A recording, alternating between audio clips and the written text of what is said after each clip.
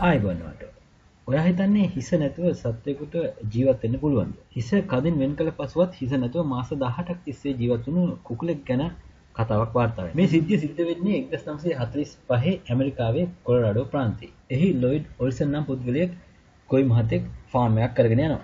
ඒ අවුද්ධ සැත්තැම්බර් දහවින්ද ඔහුගේ බිරිඳ ඔහුගේ ගොල්පොල හිටපු කුකුලගේ හිස කඳින් වෙන් කරනවා මස් පිණිස විකිනීමෙන් මේ කුකුලාගේ හිස කපපුග මම ඒ කුකුලා පැනලා තැනින් තැන දුවන්න පටන් ගන්නවා හැමතැනම හැපි හැපි එහෙට මේට ඉගිරෙන්න දඟල මුකුත් හිතා ගන්න බැරුව පුදුමවන ඔල්සන් යුවල මේ කුකුලා අල්ලලා හිස් ඇපල් පෙට්ටික දාලා රැයක් පහන් වෙනතුරු වහලා තියෙනවා ඊළඟ දවසේ ඇහැරලා ඔය ඇපල් පෙට්ටිය විවෘත කළ බලනකොටත් මේ හිස නැති කුකුලා පණපිටින් ඉන්නවා දැකලා ඔවුන් පුදුමයට පත් වෙනවා. එදා දහවල් වන විටත් මේ කුකුලා පණපිටින් ඉන්නවා. ඔල්සන් කුකුල් මස් මස් කඩේට දමන්නට යන විට ඔහුගේ වාහනේම මේ කුකුලවත් අරගෙන යන තැබෑරමට යන ඔල්සන් තමන් ළඟ හිස වෙන් කරපු පණපිටින් ඉන්න කුකුලෙක් ඉන්නවා කියලා තැබෑරමේ සිටි අය සමග ඔට්ටු වලනවා. පස්සේ තමන් ළඟ ඉන්න හිස වෙන් කරපු පණ තියෙන කුකුලව ඔවුන්ට පෙන්වනවා. ඔවුන් පුදුමයට පත් වෙනවා. ඉතින් ටික දවසක් යනවා මේ පුවත රට පුරාම ප්‍රසිද්ධ වෙනවා. පුවත්පත්වල පවා මේ කුකුලා ගැන ප්‍රචාර වෙන්න පටන් ගන්නවා. ඉතින් සමහර පුද්ගලයන් මේ රටේ එහා කෙළවරේ නම්ම මේ කුකුලා බලන්න පැමිණෙන්න වුණා. සමහරුන්ට මේ කුකුලව තමන්ගේ සර්කස් වලට ඇතුළත් කර ගැනීමට උවමනා වෙනවා. අවසානයේදී ඔල්සන් නිවල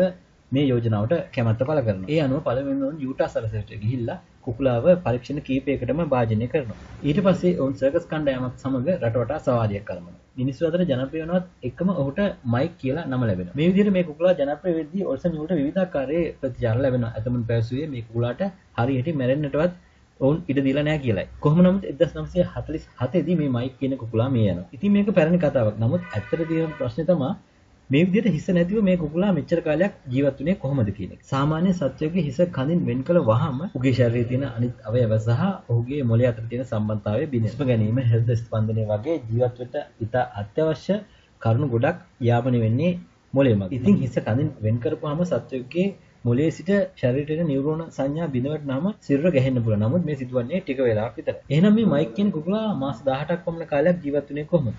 ඔහු පරික්ෂා කරපු වෛද්‍යවරුන් මත කීපයක්ම ඉදිරිපත් කරලා තිබුණා. කුකුලන් මස් පිණිස ඝාතනය කරන විට ගොවිපළවල උදවිය කරන්නේ පුළුවන් තරම් අඩුවෙන් හිස්ස කොටස කපා දැමීමට උත්සාහ කිරීමයි. මොකද බෙල්ල කොටස ආහාරයට ගන්න හින්දා. සාමාන්‍ය කුකුලන්ගේ හිස ප්‍රදේශයේ මොළය පිටලා තියෙන්නේ මදක් පිටිපස්සට වෙන්න. ඉතින් මේ විදිහට මයික්ගේ හිස කොටස කපා දමද්දී ඔහුගේ හිස කොටසේගේ මස්තිෂ්ක බාහිකයේ ඉදිරිපස කොටස කැපි වෙන්වී ගියා. ආහිගේ පිටිපස කොටසත් මොළ දැම්මේ නම් කොටසත් බෙල්ලට සවි වෙන කොටස ඉතිරිව තියෙන ඇතයි වෛද්‍යවරු විශ්වාස කළා. වෛද්‍යවරුන් විශ්වාස කරන පරිදි මයික්ගේ මොළෙන් 80ක පමණ කොටසක් ඉතිරිලා තියෙන්න ඇති කියලා ඔවුන් කියනවා. එහෙම වුණොත් ශ්වසන හා හෘද ස්පන්දන නියාමන කොටසට හානි වෙන්නේ නැහැ. ඒ නිසා ඒ ක්‍රියාවලිය සුපුරුදු පරිදිම සිද්ධ වෙන්න පුළුවන්. ඒ නිසා හිස ගස දමන වෙලාවේදී සිදුවන රුධිර වහනය නිසා කුකුලා මරණයටපත් නොවුනොත් උගේ මූලික ජීවන ක්‍රියාවලිය පමණක් ඉදිරියට පවත්වාගෙන යාමට පුළුවන්. ඒත් මයික් කියන කුකුලගේ ජීවිතය පවත්වා ගන්නට උවමන ආහාර ලබා ගත්තේ කොහොමද? කිසිම ජීවියෙකුට ඔයා දන්නවා ඇති ආහාර නැතුව ශක්තිය නැතුව ජීවත් වෙන්න බෑ කියලා. මේ ගැටලුවට විසඳුමක් මයික්ගේ අයිතිකරුවන් ලබා දීලා තිබුණා. ඔවුන් කරලා තිබුණේ සිරින්ජයක් මගින් මයික්ගේ පිටතට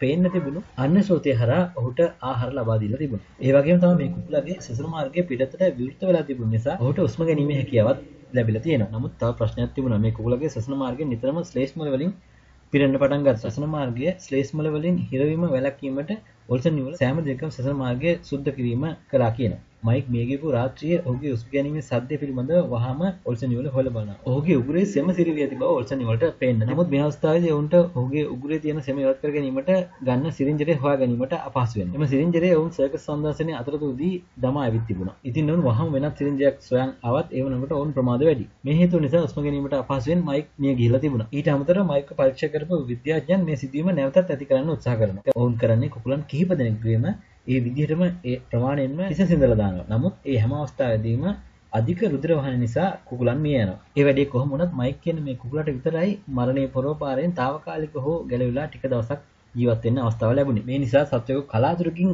පත්වෙන අසාමාන්‍ය තත්වයකට මුහුණ දෙන්න මයික්ට සිද්ධ වුණා.